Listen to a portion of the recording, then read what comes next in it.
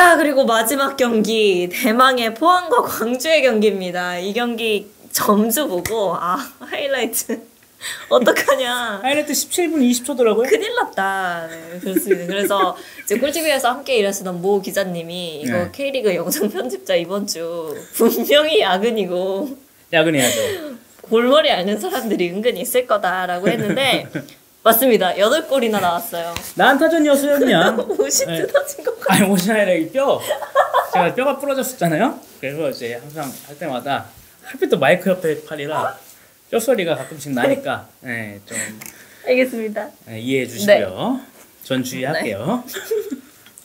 난타전이었습니다. 그 포항은 사실 그 지난 경기도 상무 상, 상주 상무와 경기도 4대 3으로 7골씩이나 이제 주고받았잖아요. 아, 맞아요. 근데 뭐 두 경기 연속 뭐 네다섯 골 네. 평균 4.5골을 넣네요. 네. 평균 몇 골을 주나요? 세 그것도 골씩, 문제인 것 예, 같아요. 세 골씩 네. 내주고 있는데 예, 전반은 사실 이제 포항이 파이널 A는 참 이런 곳이다라는 네. 것을 좀 알려주면서 네. 가르쳐주는 듯한 분위기로 흘러갔지만 이제 광주가 어 쓰리백에서 좀 그래도 올 시즌 계속 써왔던 포백으로 네. 좀 변환을 하면서 경기력이 좀 상승했습니다. 오, 네. 그래서 이제 이제 후반 초반에 이제 뭐 추가골을 먹으면서 2대 0으로 끌려갔지만 결국에는 이제 뭐 펠리페 윌리안 어먼상 네. 뭐 광주가 자랑하는 네. 수비톱이 한 네. 골씩 넣으면서 와, 경기를 뒤집어 버렸어요. 네.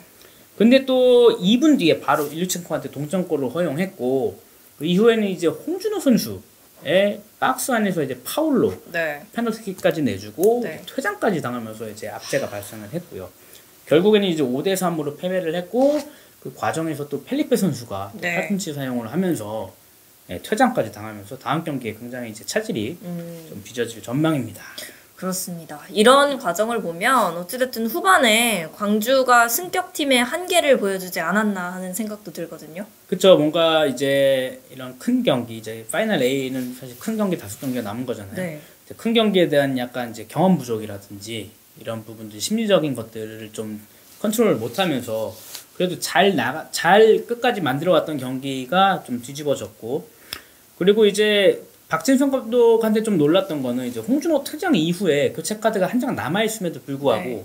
그래도 계속 공격적으로 가려고 수비 보강 없이 센터백임에도 불구하고 수비 보강 없이 계속 경기를 강행을 했는데 뭐 하지만 이제 PK 실점 이후에 굉장히 이제 심리적으로 흔들렸고 뭐 펠리페가 또 아. 퇴장까지 당했는데 펠리페도 사실 지난 시즌에도 2부에서 좀 한번 퇴장 당하고 징계까지 받았던 네. 경력이 있는데 그것도 이제 가- 자신의 감정을 컨트롤하지 못했던 거였고 예, 특히 네. 근데 이날은 이제 하창래 선수랑 좀 신경전이 있었어요. 아, 근데 너무 무서웠어요. 아. 이 둘이 붙으면 진짜 어. 세상이 멸망할 것 같은 비주얼이어가지고. 비주얼도 그렇고 이제 체력도 워낙 좋고 그니까요.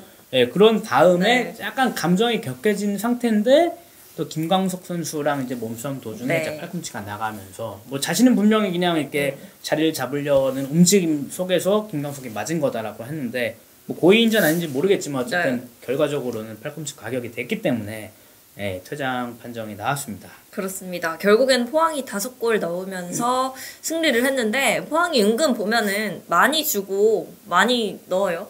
화끈한 축구죠. 네. 예, 용광로 같은. 하이라이트가 점점 길어집니다. 아. 네. 역시 과정이 재밌는 포항의 축구 철학. 그렇죠. 근데 어쨌든 이날 이제 일류첸코 선수가 해트트릭을 기록을 했고요. 그다음에 강상우 선수가 또 한번 네. 도움을 올리면서 시즌 9호 도움. wow. 그리고 팔로세비치도 이제 6호 도움을 올리면서 네. 계속 도움 숫자를 늘려가고 있는데 예, 도움왕에 대한 이제 내부 경쟁. 물론 중간에 이제 7개 도움했던 그 정승원 선수도 있습니다. 네. 그렇지만 어쨌든 도움왕 경쟁이 계속 이제 좀 뜨거워지고 있고요. 그리고 이날 좀 재밌었던 거는 이제 팔로세비치 선수가 자신의 첫 번째 득점이자 이제 팀의 두 번째 골을 넣었을 네. 때 세리머니를 할까 말까 막 껴안을까 네. 말까 이런 분위기가 있었어요. 네. 근데 이제 그게 김기동 감독이 celebration 하지 말라 이제 금지령을 오. 내렸었고 그 이유는 뭔가 이제 셀레 뭐 축구 경기에 대한 세레, 네. 세레머니에 대한 뭔가 그런 사회적 거리 왜 여기는 안 지켜지냐 이런 네. 기사에 대해서 나왔을 때 그 사진이 또 포항 사진이 나왔기 때문에 대문짝만하게 박아놨는데. 네, 그래서 이제 뭔가 네. 김기동 감독은 그런 부분을 좀 주의하자라고 네. 교육을 시켰던 것 같고 어, 팔로세비치는 이제 되게 장난스럽게 할까 말까를 보여주면서 네. 김기동 감독도 안 돼! 네, 웃으면서 그러니까 그런 이제 감독과 선수들 간의 음, 관계가 굉장히 네. 가깝고 끈끈하구나라는 어, 네. 것까지 엿볼 수 있는 장면이었습니다. 그렇습니다. 굉장히 재밌네요. 왜냐면 자, 안타깝기도 해요. 관중도 없었을 뿐더러 그렇죠. 계속해서 명경기가 나오고 있는데 아, 골을. 넣고도 마음껏 좋아할 수도 없는 이런 슬픈 아버지를 아버지라고 부를 수 없는 상황인데 어찌됐든 뭐 안 된다고 했던 김기동 감독 경기 후 인터뷰에서는 굉장히 기쁜 모습을 보여줬어요. 네, 김기동 감독이 지금 일류첸코랑 팔, 팔로세비치 듀오가 활약을 굉장히 많이 하고 있는데 이제 두 선수가 두 경기에 나서 나서서 연속으로 지난 경기는 팔로세비치 오늘 이날 경기는 이제 일류첸코가 헤트트릭을 네. 넣었잖아요. 가르치는 입장에서도 굉장히 뿌듯하고 어. 기쁘다라는 말을 해줬고요. 그다음에 이제 전북이랑 울산이랑 2연전을 앞두고 있는데 네.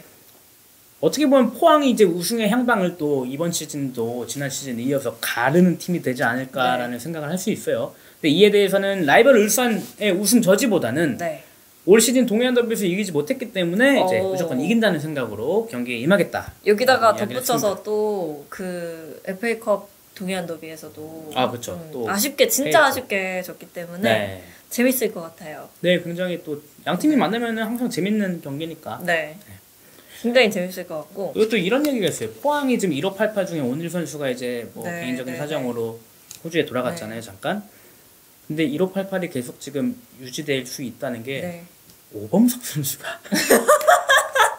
활약을 하고 있, 어서또 수월에 알토란 같은 활약을 또 하고 있습니다 최근에 뭐 풀백 또는 이제 수병 미드필더로도 나오고 뭐 선발로도 네. 나오고 교체 출전도 이날 교체 출전했는데 그러면서 이제 굉장히 이제 리더 역할 네. 그러면서 경험 많은 선수의 그런 어, 베테랑 네. 품격을 보여주고 있는데 그러면서 1588이 다시 이제 또 네. 어, 어, 무너지지 않는다. 네, 라는 또 약간 부활 그쵸 그쵸 그쵸 두 번째 버전 아, 있잖아요. 두 번째 버전이죠. 어, 굉장히 재밌네요. 그렇습니다. 어, 이렇게 계속해서 뭔가 1, 2위 팀의 우승 경쟁이 이어지고 있잖아요. 네. 근데 울산은 약간 2인자 DNA가 스멀스멀 올라오는 것 같아서 좀 무섭고 또 무서운 게 하나 더 있어요. 잔류 DNA. 야, 인천이 6골을 넣으면서 그러니까요. 하위 최하위를 탈출을 했어요. 네, 이거는 사실 네. 구단 역사상 최다골, 네. 한 경기 최다 최다골이기도 하고 운이 좀 따랐죠. 이제 정말 2분 만에 연재현 선수, 네. 그 성남 수비의 핵심이잖아요. 네. 연재현 선수가 퇴장을 당하면서 네. 이제 10명이 뛰게 됐고 그러면서 이제 뭐 저 김준범 선수 첫 골이 들어가고 또 무고사 선수도 첫 네. 골, 두 번째 골이 들어가고 네. 그러면서 좀 아 이거 다득점 경기 나오는 게 아닌가 라고 했는데 아 그래도 인천인데 다득점 나올라나 또 이런 생각도 하긴 했었어요 솔직히 네. 와 근데 또 김도혁 선수의 왼발 네. 또 완전 그림 같은 중거리 슛이 들어가면서 와 이거 다득점 되겠다 라는 생각이 들었고 계속 이제 김도혁 또 무고사 무고사로 끝나면서 네. 여섯 골이나 파파를 했네요. 맞습니다. 어, 무고사 선수도 이웃집 K리그 시즌 1에 나왔었죠. 아, 그렇죠. 그 기운을 받았는데 김도혁 선수가 멀티골 넣은 거는 참 네. 김도혁 선수가 꿀팁일까요? 아니면 다른 뭐 또 이유가 있을까요? 일단 두 가지 봅니다. 꿀팁이 하나 네. 그리고 이제 그 올 시즌 골이 없었잖아요. 네.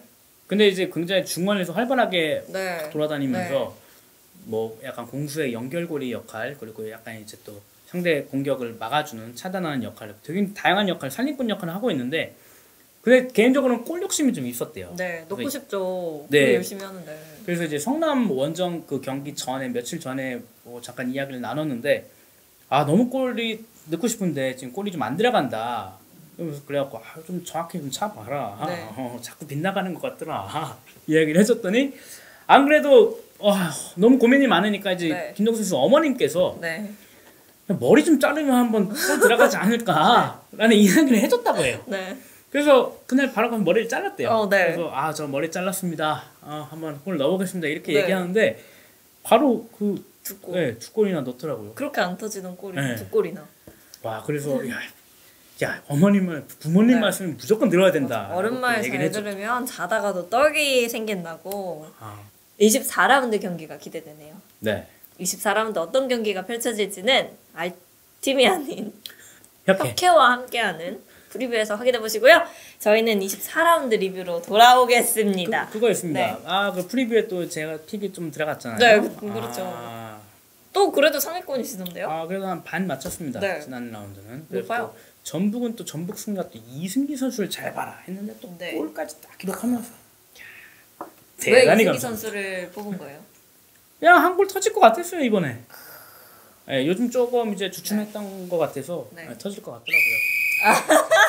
시간 끝났습니다. 시청해 주신 여러분 대단히 감사합니다. 고정 댓글란 확인해 주시고요. 끝이 없어. 언제 끝내? 그냥 와. 원래